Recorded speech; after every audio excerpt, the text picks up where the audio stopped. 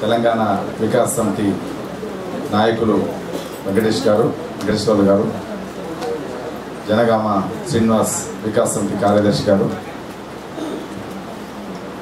Karthi university ఆచార్యులు సీతారామరావు గారు JNTU ఆచార్యులు వినయ్ బాబు గారు లక్ష్మారెడ్డి గారు భీమన్న గారు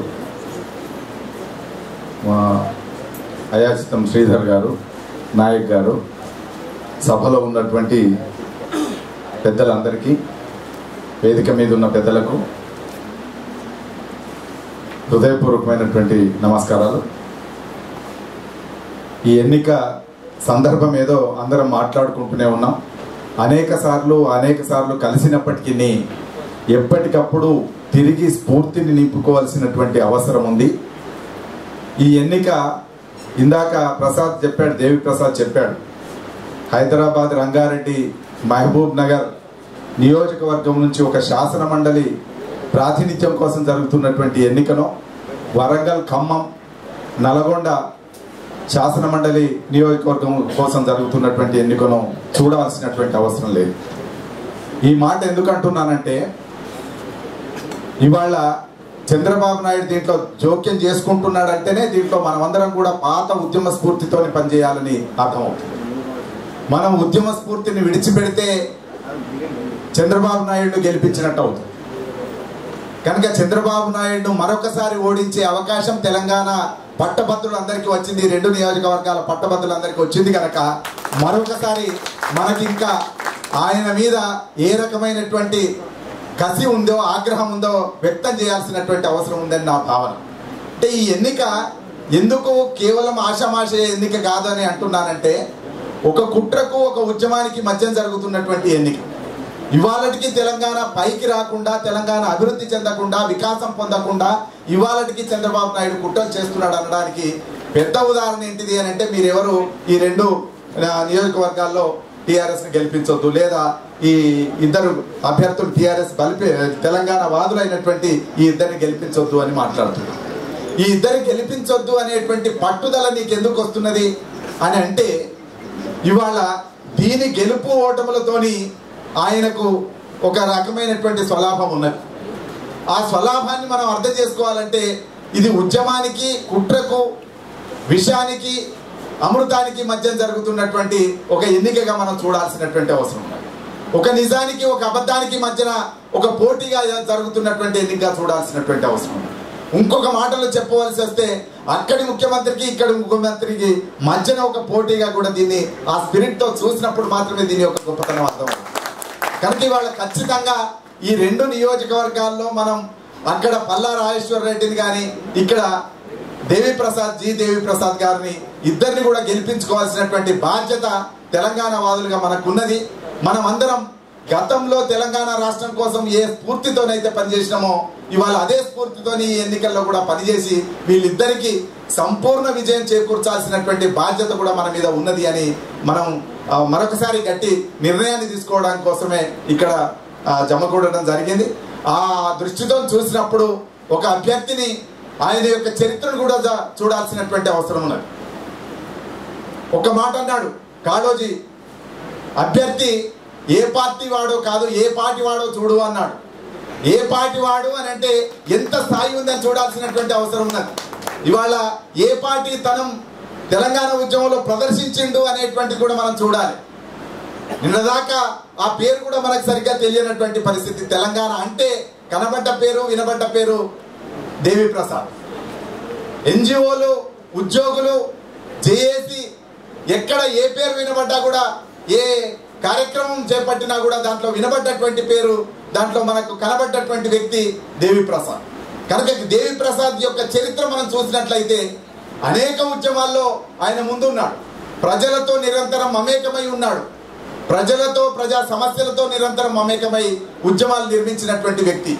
ఒక తాలూకా సంఘంలో మామూలు నాయకుడిగా ఉండి ఒక రాష్ట్ర సంఘానికి అధ్యక్షుడిగా ఎదిగినటువంటి ఒక చరిత్ర మొత్తం చూస్తే ఆయన ఏ పార్టీ వాడో మనకు అర్థమయ్యేటటువంటి పరిస్థితి కనుక మనం అభ్యర్థిని చూసేటప్పుడు రేపు ఎట్లా పనిచేస్తాడు నిన్నటి చరిత్రలో ఆయన యొక్క పాత్ర ఏంటిది అనేది కూడా మనం చూడాల్సినటువంటి అవసరం ఉన్నది.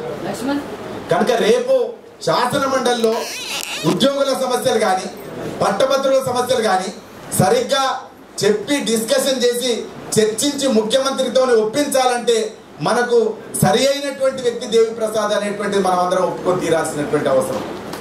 ఎందుకంటే మొన్న మనం అందరం చూసినాం ఉద్యోగులకు సంబంధించినటువంటి విషయంలో ముఖ్యంగా ఆ ఫిట్మెంట్ విషయంలో ఆయన సాధించినటువంటి విజయం అందరూ ఇంతకుముందు కూడా చెప్పడం జరిగింది.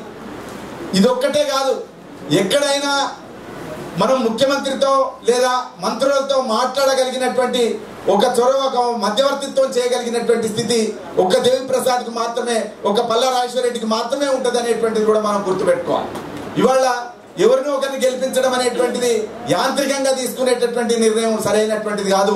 సానుభూతి కోసం ప్రయత్నం చేస్తున్నటువంటి దాని వెనకాల ఉండేటటువంటి రాజకీయం ఏంటిదో కూడా మనం ఆలోచించాల్సిన అవసరం ఉంది. సరిగ్గా దేవిప్రసాద్ చెప్పాడు. ఇవాళ ఉద్యోగుల పట్ల ఏ ప్రేమ లేని ఉద్యమం పట్ల ఏ ప్రేమ లేని బీజేపీ ఇవాళ మా క్యాండిడేట్ అనో లేదా మా మద్దతు పలికినటువంటి అభ్యర్థిను ఆయన చూపెడుతూ ఉన్నప్పుడు ఆ పార్టీకి ఉండేటటువంటి నైతికత ఏమున్నది అనేటువంటిది మనం చూడవలసినటువంటి అవసరం ఉన్నది. ఒకసారి ఒక ఓటుకు రెండు రాష్ట్రాలని చెప్పి ఒకసారి మోసం చేయడం తీరా ఉద్యమం చేసి తెలంగాణ ప్రజలందరూ ఒక్కటై సాధించుకోవడానికి బిల్లు పార్లమెంట్లోకి పోయినప్పుడు పార్లమెంట్లో ఎక్కడికక్కడ అడ్డం తిరిగినటువంటి వ్యక్తులు కూడా- కూడా మీరు చూస్తూనే ఉన్నారు. మనం అందరం చూసినా మర్చిపోలేదు అట్లా ఇవాళ తెలంగాణ వచ్చిన తర్వాత కూడా ఇవాళ చేస్తున్నటువంటి పని ఏంటిదో కూడా మనం చూస్తూనే ఉన్నాం.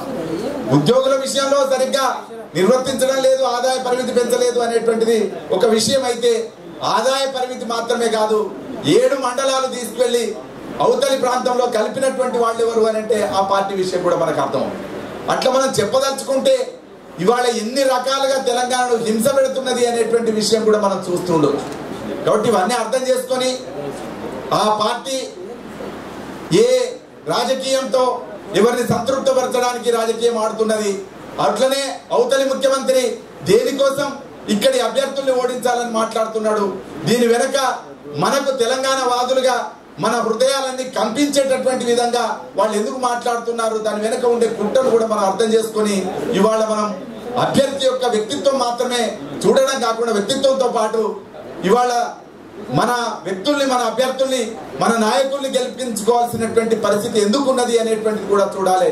తెలంగాణ సంపూర్ణమైనటువంటి వికాసం పొందాలంటే ఖచ్చితంగా తెలంగాణ ఉద్యమంలో నిజాయితీగా ప్రవర్తించినటువంటి నాయకుల్ని గెలిపించుకోవాలి. వాళ్ళకి మాత్రమే ఇక్కడి ప్రజల పట్ల ఇక్కడి అభివృద్ధి పట్ల ఇక్కడి ప్రాంతం పట్ల ఒక ప్రేమ ఉండే అవకాశం ఉంది కనుక ఆ ప్రేమ ఉన్నటువంటి వ్యక్తి దేవి ప్రసాద్. ఆ రాజేశ్వర్ రెడ్డి కనుక వీళ్ళను మనం తప్పకుండా గెలిపించుకోవాల్సినటువంటి అవసరం ఉన్నది. వికాస్ సమితి చాలా మంచి కార్యక్రమం తీసుకున్నది. కార్యక్రమం ఇక్కడ తీసుకోవడం మాత్రమే కాకుండా కింది దాకా వెళ్ళి మనం పనిచేయాల్సినటువంటి అవసరం ఉన్నది. కింది దాకా వెళ్తలేము అనేటువంటి ఒక పని ఇవాళ ఒక నివేదిక మనకు వస్తున్నది. అంతా కూడా ప్రచారంలోనే ఉన్నది. ఆర్భాటం జరుగుతూ ఉన్నది. పత్రికల్లో మీడియాల్లోనే ఉన్నది. నిజానికి కింది దాకా వెళ్తలేదు అనేటువంటి ఒక అభిప్రాయం కూడా ఉన్నది. అది మనం మాట్లాడుకోవాల్సినటువంటి అవసరం కూడా ఉన్నది. ఖచ్చితంగా వేదిక మీద ఎట్లాంటి స్ఫూర్తితో పనిచేస్తున్నామో మన పక్క మిత్రుల దగ్గర లేదా మనకి ఎక్కడెక్కడైతే అవకాశాలు ఉన్నాయో అన్ని చోట్ల కింది దాకా దేవి ప్రసాద్ను గెలిపించాలని రాజేశ్వర్ రెడ్డిని గెలిపించాలని తెలంగాణ వాదుల్ని గెలిపించడం ద్వారా మాత్రమే తెలంగాణ అభివృద్ధి సాధ్యమవుతుందనే విషయం ఎప్పటికప్పుడు చెప్పి కింది దాకా మనం తీసుకెళ్ళాల్సినటువంటి బాధ్యత ఉన్నది.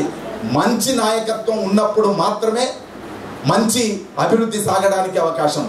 కనుక మంచి అభివృద్ధికి కారకులైనటువంటి వాళ్ళు ఎవరో మంచి నాయకులు ఎవరో మనకు తెలుసు కనుక మనం తెలంగాణ ఉద్యమంలో ఎన్జిఓల సంఘం అప్పటిదాకా మాట్లాడకపోతే ఎన్జిఓల సంఘాన్ని తెలంగాణ ఉద్యమం అనే పట్టాల మీదకి ఎక్కించినటువంటి ఘనత స్వామి గౌడ్ కానీ దేవి ప్రసాద్ మాత్రమే దక్కుతుంది. వీళ్ళను ఉద్యమంలో తీసుకొచ్చినటువంటి చరిత్ర వాళ్ళ. కనుక అట్లా పట్టాల మీదకి ఎక్కించినటువంటి వ్యక్తి ఒక వ్యక్తిని మనం స్ఫూర్తితో గెలిపించి వాళ్ళ శాసన మండలి స్పీకర్ను చేసుకున్నాం. అదే శాసన మండలికి ఇంకొక వ్యక్తిని పంపించాల్సినటువంటి బాధ్యత కూడా మన మీద ఉన్నది. ఆ బరువు కూడా మన మీద ఉన్నది ఆ షరతు కూడా మన మీద ఉన్నది కనుక దాన్ని పూర్తి చేయవలసిందిగా మీ అందరిని మరొకసారి కోరుతూ మంచి నిర్ణయం తీసుకొని మంచి వికాసాన్ని పొందాలని మరొకసారి అందరికి విజ్ఞప్తి చేస్తూ నాకు అవకాశం ఇచ్చినటువంటి తెలంగాణ వికాస్ సమితి బాధ్యులకు కృతజ్ఞతలు. నమస్తే. జై తెలంగాణ.